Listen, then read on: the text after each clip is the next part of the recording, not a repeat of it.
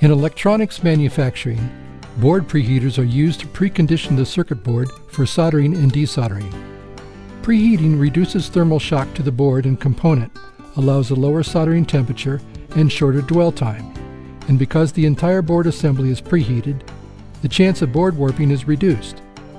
The Hakko FR870 is a compact benchtop board preheater designed to elevate the temperature of circuit board assemblies so the components on them can be soldered and desoldered more easily.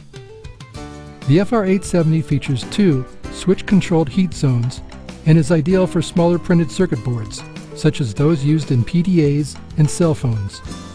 The FR870 operates in a power intensity mode or a closed-loop thermocouple mode. In this video, we will show how the FR870 integrates with the FM206 three-port rework system.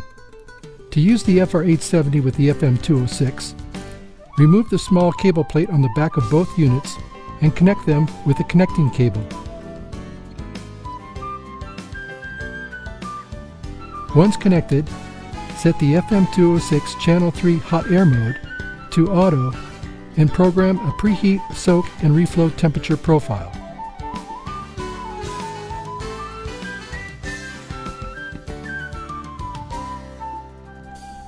You can now activate the FR870 from the FM206 by pressing the yellow button on the FM2029 hot air handpiece or the start-stop button on the front panel of the FR870. The system will then cycle through the pre-programmed temperature profile.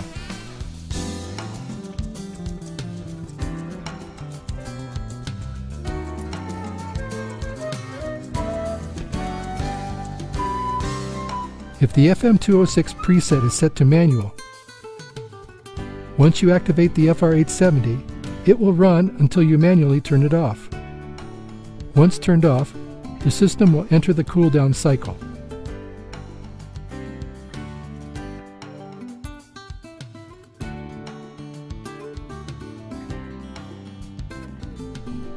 For those applications where eye strain is a concern, the optional frost-treated lamps reduces the glare significantly under magnification.